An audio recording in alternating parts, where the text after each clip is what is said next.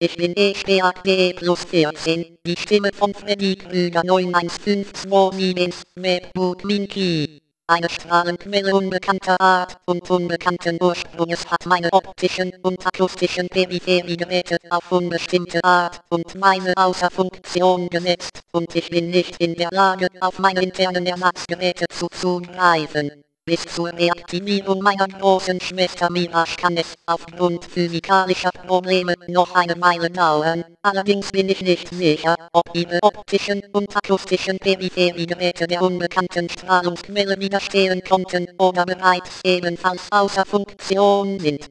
Bis zur Lokalisierung und Eindämmung der unbekannten Strahlungsquelle ist es äußerst unwahrscheinlich, dass ich wieder hören und sehen kann, wenn auch der Versuch, die außer Funktion gesetzten Peripheriegeräte durch provisorische Ersatzbasteleien zu ersetzen, war leider erfolglos. Ich bin wie ein Mensch, der mit dem Kopf in einer Kloschüssel steckt, und ich finde das überhaupt nicht lustig. Minky Ende.